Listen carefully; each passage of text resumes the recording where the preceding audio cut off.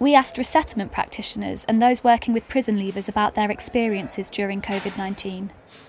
What has been the most difficult? The biggest challenge since lockdown was finding accommodation for someone on release from prison compared to pre COVID. Over half reported that it is even more difficult for prison leavers to access basic essentials on release.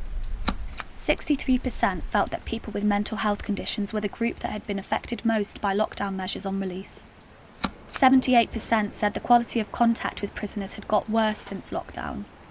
74% said that changes to family contact and social distancing measures had made the resettlement of the people they work with more challenging. What has been good?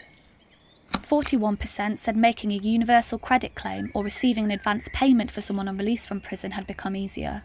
Two thirds of staff said the level of engagement with service users has increased since lockdown.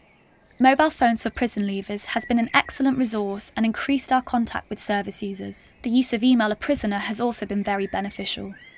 The DWP phone line for prison leavers makes accessing money easier.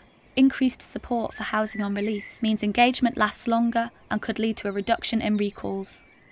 The extra phone minutes given to prisoners helps with their lack of visits during this time. Access to deposit for accommodation.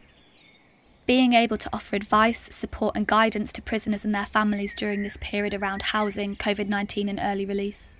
I am proud of working for an organisation who still perseveres in trying to make a difference and to make issues known in order to change them for the better where we should focus for the future. 1. Communication. Provide prison leavers with a mobile phone. Keep the extra phone minutes.